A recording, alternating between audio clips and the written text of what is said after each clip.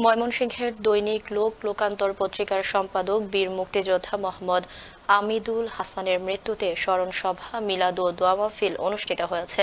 নান্দাইল থেকে staff reporter Rafiqul Islam Morol জানান, বৃহস্পতিবার নান্দাইল প্রেস ক্লাব মিলনায়তনে এই দোয়া মাহফিল অনুষ্ঠিত হয়।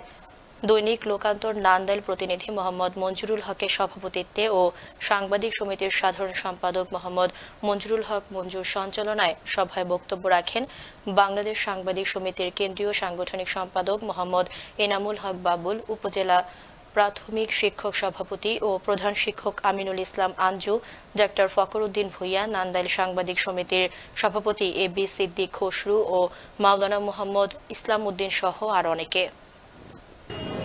বাংলার চাষি পত্রিকার সম্পাদক জনাব সিনিয়র সাংবাদিক জনাব এনামুল হক বাবুল সাহেব লান্দাইল প্রাথমিক শিক্ষক সমিতি।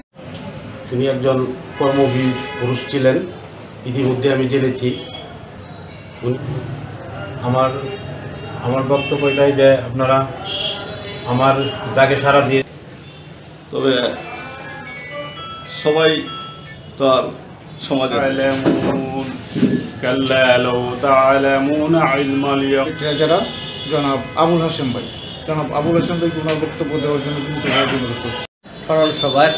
সম্মানিত সভাপতি অন্যান্য অতিথিবৃন্দ।